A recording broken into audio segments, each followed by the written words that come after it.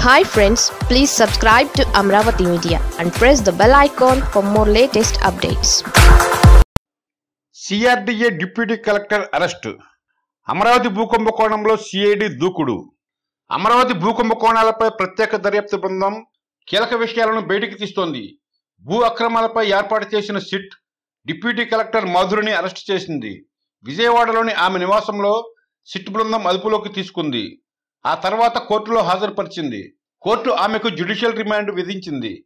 రాజధాని ప్రాంతంలోని నెక్కలు గ్రామంలో రెండు వేల పదహారులో ప్రభుత్వ భూమిని ఇదే గ్రామానికి చెందిన రావెల గోపాలకృష్ణ అనే వ్యక్తి డూప్లికేట్ దస్తావేజులు క్రియేట్ చేస్తే అక్రమంగా డిప్యూటీ కలెక్టర్ మాధురి రిజిస్ట్రేషన్ చేశారు.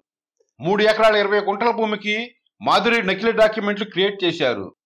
వైసీపీ ప్రభుత్వం అధికారంలోకి వచ్చిన తర్వాత గత ప్రభుత్వంలో జరిగిన అక్రమాలపై ప్రత్యేక దర్యాప్తు బృందాన్ని నియమించింది. ఇందులో భాగంగా సిఆర్డీఏ అక్రమాలపై విచారణ జరిపితే అక్రమంగా ఈ భూమి బదలాయింపు జరిగినట్లు నిర్ధారణ అయింది. నెల రోజుల కిందట నెక్కల్లు గ్రామానికి చెందిన రావెల గోపాలకృష్ణను సిట్ అరెస్ట్ చేసింది.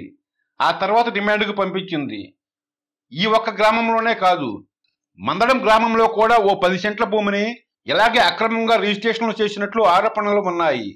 ఒకరి భూమిని మరొకరికి దొంగ కాగితాలు సృష్టించి దొంగ రిజిస్ట్రేషన్లు చేసినట్లు మాధురిపై అప్పుడే వార్తలు వచ్చాయి.